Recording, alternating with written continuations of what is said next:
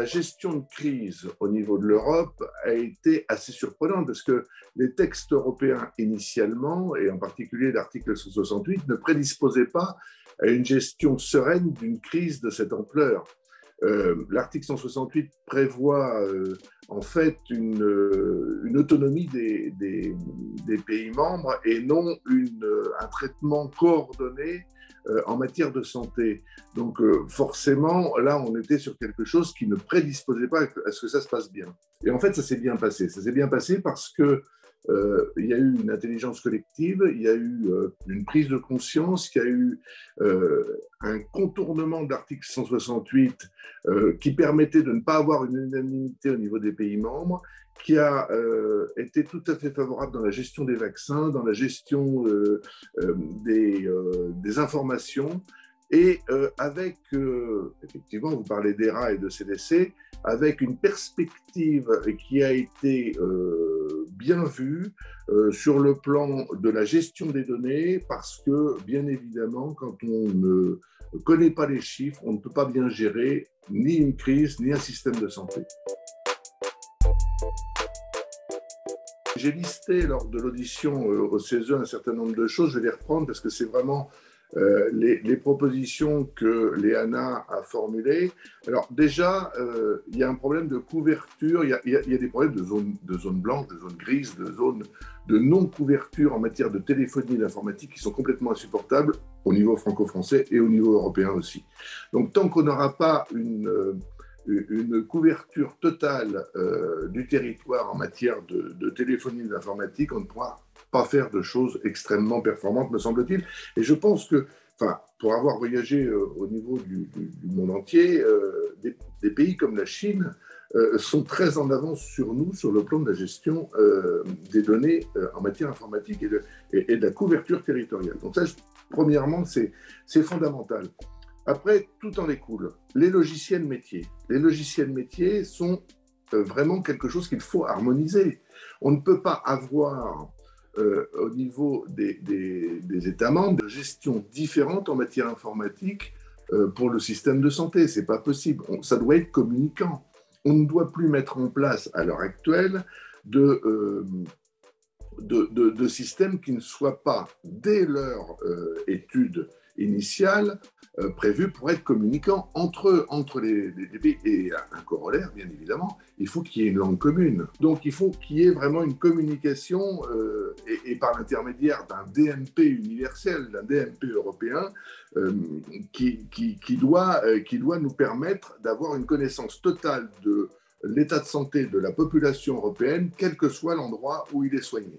Alors ça, c'est vraiment très important. Sur les études médicales, vous avez une, euh, une, disparité au niveau des spécialités parce que vous avez une culture qui est différente. Vous avez euh, euh, des, spécialités qui sont beaucoup plus importantes, beaucoup plus nombreuses en France que dans les autres pays, qui sont regroupées sur un certain nombre de, grosses spécialités, parfois qui, n'ont peu de choses à voir avec le découpage français. Et, et, bon, il faut pouvoir, quand on est citoyen européen, se mouvoir dans un système de santé que l'on ne connaît pas. Et ça, c'est l'informatique qui aussi peut le permettre. Parce qu'on ne peut pas avoir connaissance de tous les systèmes de santé européens quand on est citoyen européen. Déjà, quand on est professionnel de santé, c'est compliqué. Mais donc, il faut qu'il y ait une aide informatisée sur, euh, sur ce, ce point-là. C'est très important pour la libre circulation, encore une fois, et pour un soin efficace, qu'il n'y ait pas de, de rupture dans la chaîne des soins euh, en, fonction du lieu géographique où se trouve le, patient.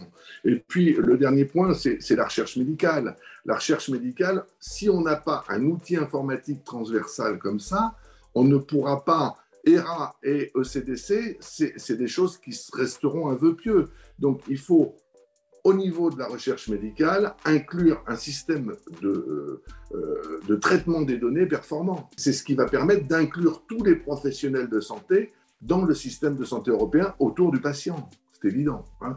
Et là, actuellement, en, France, on, fait des choix qui sont des choix franco-français, avec une langue unique, avec euh, des études qui sont même peu tournées sur le, sur le, maniement de la langue anglaise, hein. donc peu de transversalité. On ne peut pas parler hongrois, polonais, et voilà, quand on est médecin, il va falloir qu'on ait une langue de référence, me semble-t-il. Et il faut que tous les DMP, que toutes les structurations informatiques soient en langue maternelle et en langue anglaise, me semble-t-il, de manière à ce qu'on puisse communiquer. L'association, je viens d'en dire deux mots, euh, c'est euh, effectivement euh, par le système informatique, par, mais aussi par les études. Hein. donc, on, englobe à ce moment-là, on englobe une cohérence complète du système, c'est-à-dire une démographie qui va bien, donc une démographie unifiée. on ne peut pas admettre que dans un pays, on, puisse avoir un médecin généraliste pour, euh, on va dire, 2500 personnes, 2500 patients, et euh, que d'un autre côté, on, pense que c'est 1 pour 800. Euh, là, je prends deux exemples qui sont très simples, hein, c'est Allemagne et France, ce que je viens de dire, pratiquement. Hein. donc, donc, donc, deux pays voisins, pas extrêmement distants sur le plan économique, on peut le dire, et qui ont des vues très différentes du, euh, de l'organisation au niveau de la médecine générale. Juste ça. Donc, il faut harmoniser, euh, bien évidemment. Euh, alors, harmoniser ne veut pas dire contraindre, mais veut dire quand même, là, on est sur 1 à 3, c'est quand même un petit peu beaucoup, me semble-t-il. Hein. Il doit y avoir une harmonisation qui peut permettre une certaine souplesse, mais qui doit quand même rester dans des, dans des bornes qui sont admissibles. Hein. Donc, harmoniser les études, harmoniser euh, les spécialités, harmoniser euh, l'installation, euh, faire communiquer l'ensemble des professionnels de santé, c'est-à-dire pas seulement les médecins, mais aussi les infirmiers et les autres professionnels de santé, entre eux par l'intermédiaire d'outils informatiques adaptés, et globalement connaître l'ensemble des, paramètres informatiques pour gérer le système. Parce que si on n'a pas de, de, connaissances en matière de données, on n'aura pas de gestion du système, c'est pas possible.